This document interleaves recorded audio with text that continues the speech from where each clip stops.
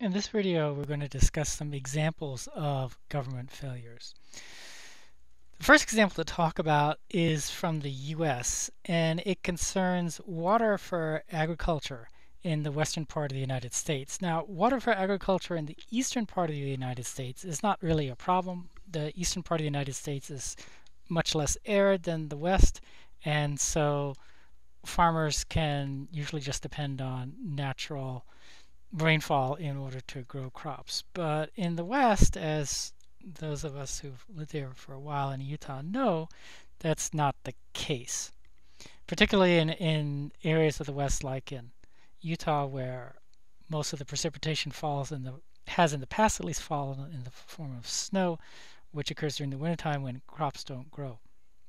The federal government has been subsidizing water projects in the West for a very long time. Maybe I should change a tense of that. The federal government used to subsidize water projects in the West. Starting around perhaps 1990, it became much more reluctant to do that. But from the earliest part of the uh, 20th century uh, up to around 1990, the federal government was quite enthusiastic about subsidizing water projects by in, in the West, uh, building dams like the, um, the the dam that holds Lake Powell or the dam that holds Lake Lake Mead as examples. And by subsidizing, what I mean is that the federal government has paid for these projects and has often required the states involved to compensate the federal government, but on very generous terms. Like you get a, a loan that lasts 50 years or even more at a well below market interest rate. The some of these projects have gone certainly for urban areas, but the greatest beneficiaries have been agriculture. And the reason is that agriculture is by far the biggest user of water in the West. In Utah, for example, agriculture uses approximately 80% of the water that's diverted from natural sources. And by by the way, that that agriculture, some of it is for food for people, but a lot of it is food for animals. For example, in Utah, I have done some calculations because these figures aren't readily available, and more than 50% of the the water that's used in Utah is used to grow hay which of course is a food for animals.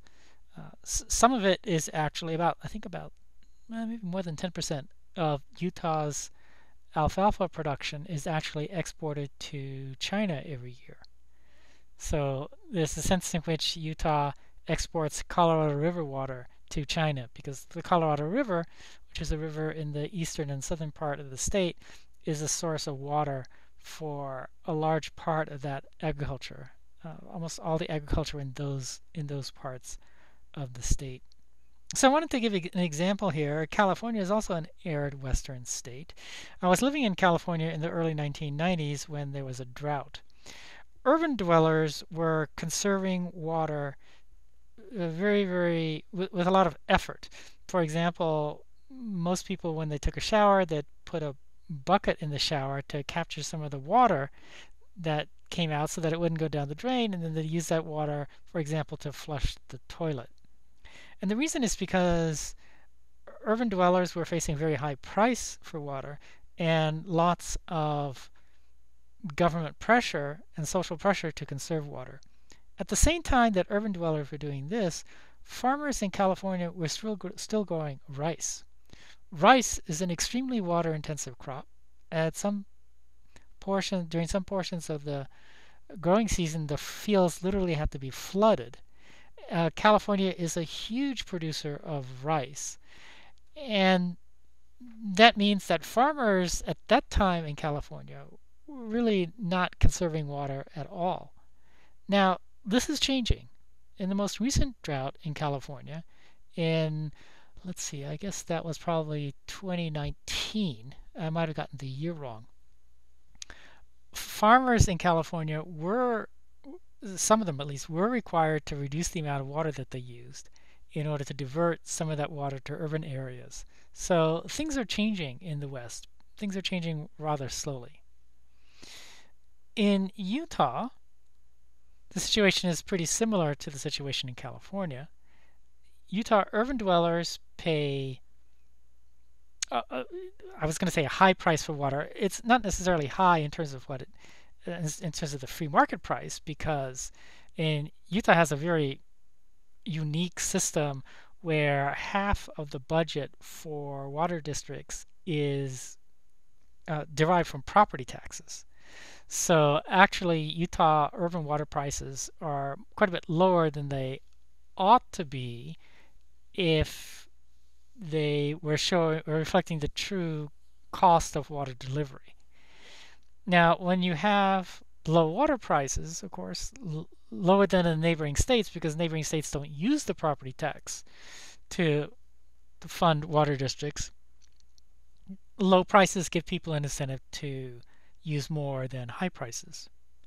But the biggest distinction so, so, so Utah urban water prices are too low. But compared to agricultural water prices, they're much too high because Utah farmers in general actually don't pay for water. That is, they don't pay for quote unquote liquid water, they don't pay per gallon. If you were to buy a farm, you would have to pay more money to purchase the water rights to the farm. Without the water rights, the farm might be useless. And so farmers pay an upfront cost when they acquire the land for the water right. Um, that's a legal right. That's sometimes not called wet water. It's just the legal right to water. But the marginal cost of water to farmers in Utah is in general zero. This, of course, means there's absolutely no incentive for farmers to conserve water. To the extent that I was listening to a presentation by the president of a company that makes irrigation products, both for residences and for agriculture, who said that he was once having a discussion with a farmer and asked uh, asked him how he ran his pivot irrigation system. So uh, pivot irrigation is a really common way of irrigating farms in the western part of the US. If you're flying over the western part of the US, you often see uh, this this kind of pattern of green agricultural areas. And that's due to pivot irrigation. You have a pivot in the center of each one of these areas. You have an arm that extends out that carries water. This arm is on wheels, and as as the minutes go by, the arm uh, rotates around its pivot to irrigate the land. So the corners, if you think about these as being squares, the corners don't get irrigated. So this the president of the irrigation company was asking the farmer what his schedule for pivot irrigation was. And this farmer said that he couldn't he wasn't legally allowed to turn the irrigation system on until some particular date in the spring. Once that date arrived, his policy was to turn the irrigation system on and not turn it off until the fall, except if it was raining so hard that he was worried that the wheels that support the pivot irrigation machinery might get stuck in the mud. So I, I don't know, economists hesitate to use the word waste, but if you face zero marginal cost for something like water, then this is the optimal thing to do. Because as the farmer was explaining, with his rather old system, it took a lot of effort to turn the system off. You actually had to send somebody out in a truck in order to turn the thing off, and then later, when you wanted to turn it back on, you had to send somebody uh, again to go out. Um, this this irrigation company was selling modern computerized tools so that the farmer could control the pivot irrigation system without actually having to go out and and uh, do it on site.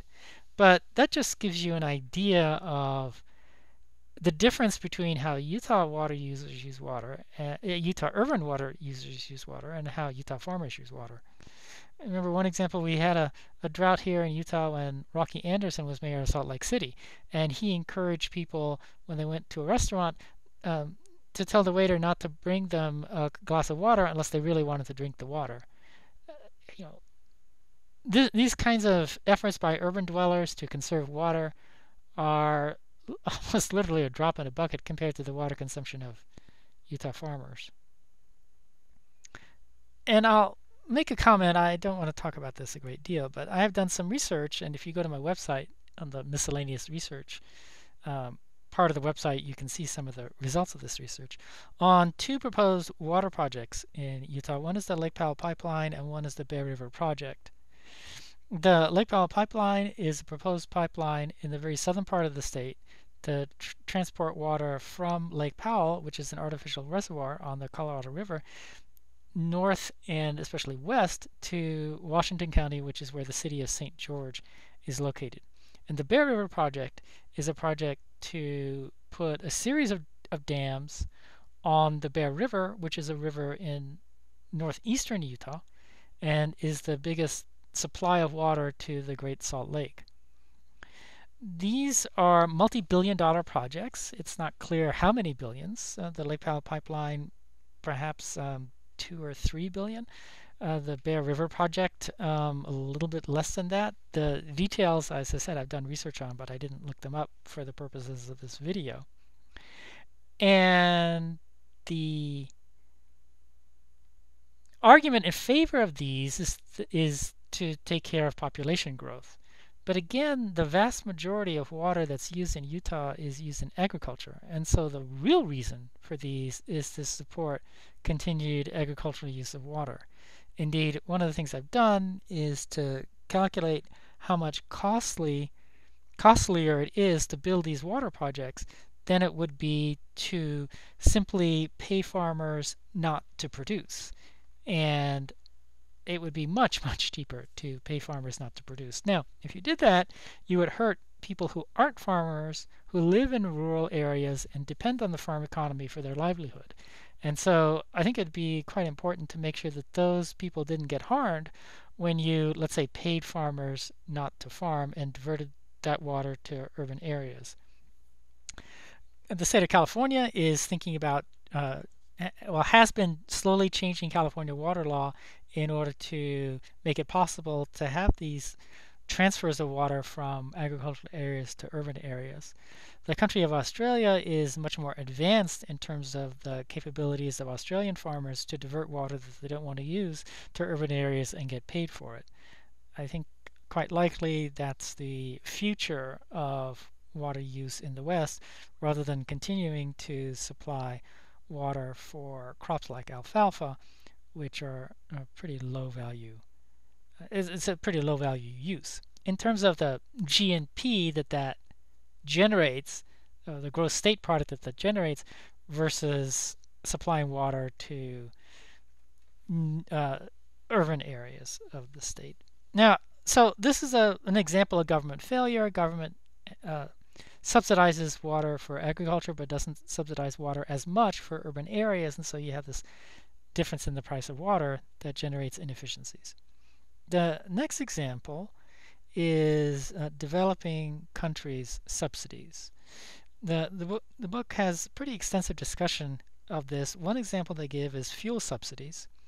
Now, on page uh, 88, box 6.3, you can see the data. It is pre 1989 data. As I mentioned in the first day of class, that's one of the disadvantages of our using an old textbook. It doesn't have modern data. But the fact of the matter is that countries all over the world still subsidize fuel.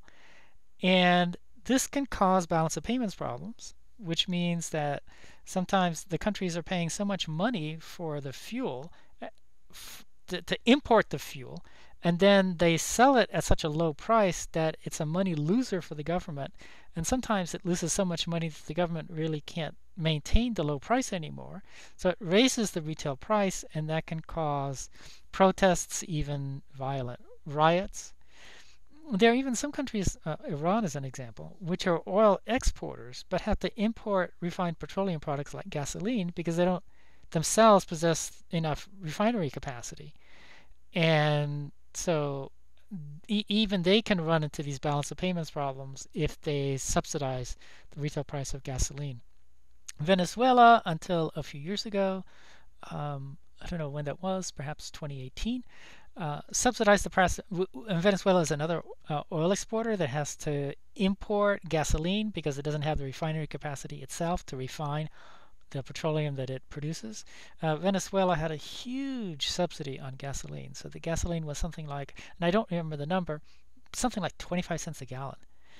And this was generating gigantic balance of payments problems for the Venezuelan government. Finally, they had to abandon that, but it caused riots because people were really upset. All of a sudden, they had to pay much, much more money for for gasoline. Uh, subsidies on fertilizer and food production are also pretty common in developing countries. One of the results of this is overproduction of food. So then you need to somehow get rid of it. Now in the US as well, you have you have subsidies that generate overproduction of food. One of the reasons for let's say the school lunch program is so that the government can support, let's say, the production of cheese by buying cheese from farmers when otherwise the price of cheese would be too low and the farmers would get a low price for cheese. So the government buys the cheese and then the government uses the cheese in the school lunch program. So developing countries, you also have some subsidies on food production. Subsidies on fertilizer can clearly generate environmental problems. Any any kind of subsidy on food production can generate environmental problems. Fertilizer here is an example. If you subsidize fertilizer and food production, then you give people incentive to grow more food. Why is that bad? Deforestation is one reason. If you have an incentive to grow more food than before, you may decide to cut down the forest in order to to grow that food, e either crops or or rangeland for cattle, and that, of course, is bad for global warming. Fertilizer subsidies in particular can cause water pollution. I remember reading in Mexico there are large subsidies for fertilizer, and therefore the farmers use way more fertilizer than they need to. What happens then is that when it rains, the fertilizer runs off the fields and into uh, streams, lakes, and rivers, and that causes very serious degradation in their water quality. You get algal blooms, sometimes poisonous uh, algae, making the water poisonous, and and so forth. So these are environmental problems that are caused by subsidies on fertilizer and food production. Um, subsidies on irrigation, of course, we talked about subsidies on irrigation in the United States, but there are also subsidies on irrigation in developing countries that can result in waterlogging, increased salinity. Okay, so the increase in salinity comes because if you depend on rainfall, the rain that comes from the clouds doesn't have salt. But if you depend on irrigation water that comes from uh, water that has uh, that has traveled over the ground or through the ground, when water travels over or through the ground, it picks up salt because the salt is contained in, in the earth, in the in the dirt, in the ground. And so when you when you put that on your crops, then you're going to increase the soil content of your crops. Some of you might remember from your uh, high school or junior high school days learning about the so-called Fertile Crescent in ancient history. So the Fertile Crescent is the country that we now call Iraq. It was really fertile back in the in, in the old days, thousands of years ago. It's less fertile now because of many centuries of irrigation that have increased the salinity of the soil to the extent that in some areas you can't grow crops anymore. Dams, of course, are often associated with water projects and irrigation subsidies. I've written here loss of ancestral, ancestral villages due to dams. One of the biggest dams, perhaps the, the biggest dam in the world, I'm not sure, is the Three Gorges Dam in China, which is a fairly new dam, uh, inundated a large amount of land where people had been living for many centuries, in fact, probably a few millennia. And so you had a large loss of archaeological uh, sites, uh, ar archaeological uh, resources due to due to that dam. Okay, so these are some examples of government failures.